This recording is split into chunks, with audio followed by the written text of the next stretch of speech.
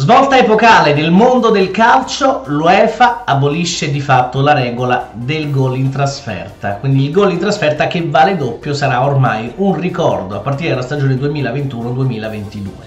Cosa significa questo? Che cosa cambia? Cambia che se in una competizione internazionale due squadre tra andata e ritorno hanno realizzato lo stesso numero di gol, indipendentemente da dove queste reti siano state realizzate tra casa e trasferta, in caso di parità si accederà ai tempi supplementari, due tempi supplementari da 15 minuti e in caso di ulteriore parità si accederà direttamente ai rigori. È una svolta sicuramente importante, era una regola quella dei gol in trasferta che vigeva dal 1965, il presidente dell'UEFA Alexander Seferin ha in qualche modo dichiarato che quella regola sapeva un po' d'antico e che con il calcio moderno non poteva esserci più differenza tra gol in trasferta e gol in casa. Staremo a vedere se lo spettacolo ne beneficerà, ce lo auguriamo tutti. Torniamo però in casa Napoli. Ogni estate sembra essere l'estate di Koulibaly, Kalidou Koulibaly resta, va via, è il perno del progetto futuro, ce lo racconta Sara Ghezzi. Il Napoli di Luciano Spalletti ripartirà da Kalidou Koulibaly.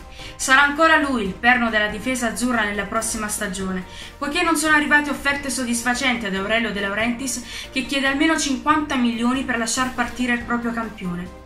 Il difensore senegalese è ben contento di proseguire la sua avventura all'ombra del Vesuvio e secondo alcune indiscrezioni si ricongiungerà col gruppo azzurro già il prossimo 15 luglio, quando avrà inizio il ritiro di Di Maro. Lì conoscerà Luciano Spalletti, che non vede l'ora di poter lavorare con quello che da molti è definito il difensore più forte al mondo, ma che è soprattutto una persona dal cuore d'oro. Infatti, Koulibaly è sempre in prima linea nella lotta contro il razzismo, sempre pronto ad aiutare la gente del suo paese, il Senegal, ed è sempre pronto a regalare sorrisi a chi di sorrisi ne fa troppo pochi. Koulibaly e Napoli si sono detti ancora una volta sì. Il matrimonio, iniziato nell'estate del 2014, proseguirà.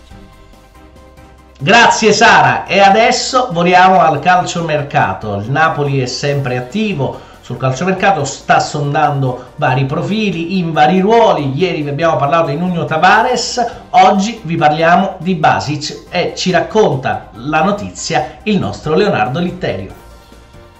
Mancano soli 21 giorni all'inizio del ritiro di Di Maro. Il Napoli inizia a muovere i primi passi anche sul calciomercato ed il nome più ricercato e voluto per il centrocampo è quello di Toma Basic, il centrocampista del Bordeaux, che è in scadenza nel 2022 ed è per questo che la società francese ha deciso di non mandarlo in prestito. Il Napoli è convinto e lo vuole davvero ed è per questo che ha offerto 8 milioni di euro senza contropartite, ma con eventuali bonus a seconda delle prestazioni del calciatore. Anche la Lazio punta e vuole Basic ed è per questo che Giuntoli vuole accelerare i tempi e ha richiesto una risposta da parte del Bordeaux in tempi brevi, in tempi stretti, anche perché vuole portare il calciatore al ritiro di Di Maro in modo da poterlo far analizzare da Luciano Spalletti ed aggregarlo a tutta la squadra.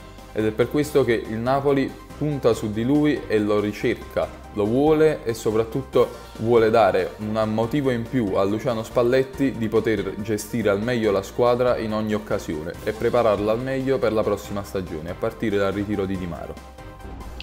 Grazie Leonardo e non ci resta altro che augurarvi intanto una buona giornata, darvi appuntamento domani alla stessa ora con il focus dell'avversario dell'Italia, quindi il focus sull'Austria. Dopodomani ci sarà l'editoriale di Calcionapoli 1926.it. Restate con noi, buona giornata a tutti da parte di Ivan Scudieri.